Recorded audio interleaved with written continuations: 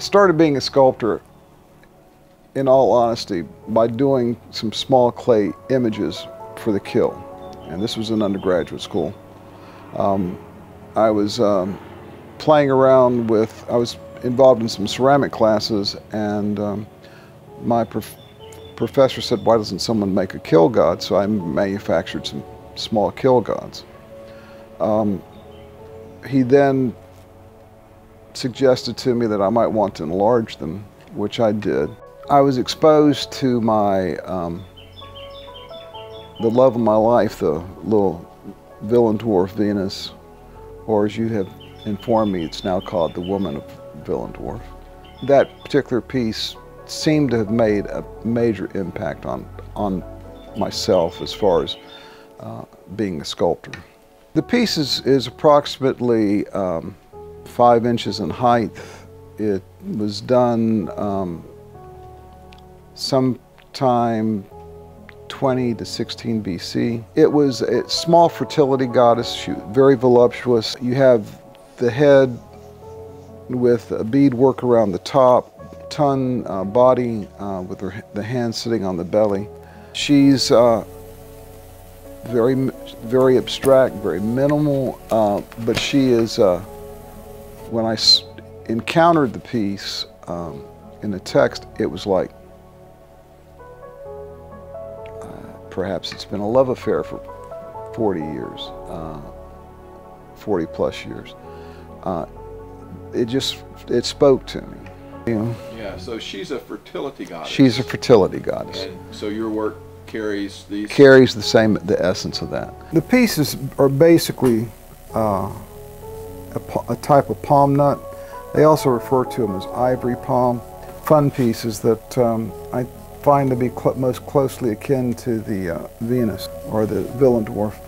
When you remove the outer surface, basically this is what you're looking at. This is one that I'm currently, that I started on. I haven't gotten very far with it, but I still have, have to um, do some finish work on it. The one problem that I've run across is that where the palm is, there's a sprout that you find inside of them, like right here. And this sprout will be what you see at the top here. Now some of these pieces, um, I can envision doing larger pieces in stone. I'm looking at um, maybe taking this image or something very similar to it and uh, transposing it into uh, a piece of marble.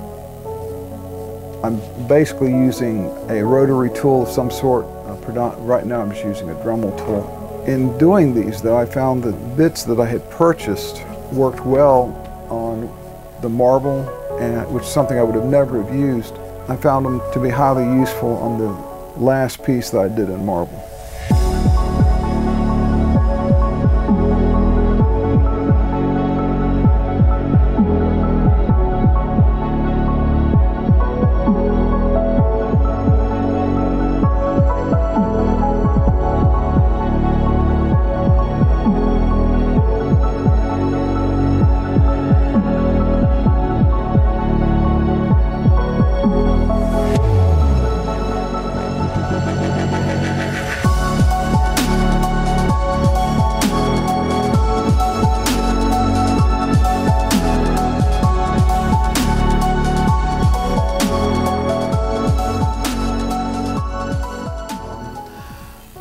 This is uh, a piece that is, I think, not just dealing with uh, movement and the torso, but I wanted to, to, uh, to get the entire figure in.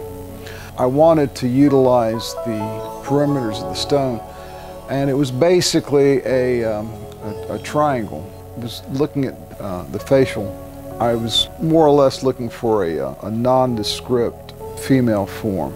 So I think of her as, as almost an earth mother uh, type piece. To get the negative space, which goes all the way from the front to the underside, uh, I first started out with a drill and then I began using um, a Dremel-like tool to literally grind the areas out and then using some hand rasp.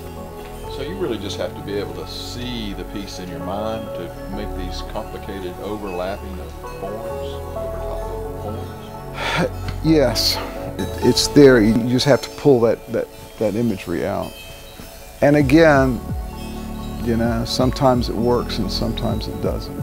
Well, I think it works in this piece. This this tension in the in the body, all the way from the hands through the shoulders, and this leaning forward is carried through in the face. Makes it all come together. This is a, a piece of uh, alabaster. I really like the medium, especially in the in the pink. I, I, I just think that this is just really a, a pretty stone. This particular piece had um, almost a, an angle that came in at the front. So when I was looking at it, I wanted to incorporate my image with, within the confines of the material. I could see almost a, a running figure or a dance or figure that was dancing with the uh, one leg being on the ground, the other leg coming out. And so this this is kind of where the the piece came from. It's it's almost animal-like uh, as well, but I really like the the horizontal lines in this. It sort of works with the the movement that's that's occurring in the figure. This vertical piece is, um, this, I worked on this for um, a year and a half, two years on, on an on again, off again basis. It wasn't continuous work. I like the piece. It's, uh, I, would say it's, it's probably one of my favorites. Marble takes a little longer to pull the piece out. Of. At a certain point though, once you begin to work on it, you start to see the piece coming out of it. And that is when you start to get excited. Anytime in the, in the figure, if there's a movement, there's a counter movement. If, unless you are forcing the pose, on a natural pose, the right shoulder goes up, the left hip goes up. It counterbalances itself. What's happening over here, this, this whole area is pushed back. So you've got this little, this, this twisting motion going on in the torso. Movement is an important factor in the work.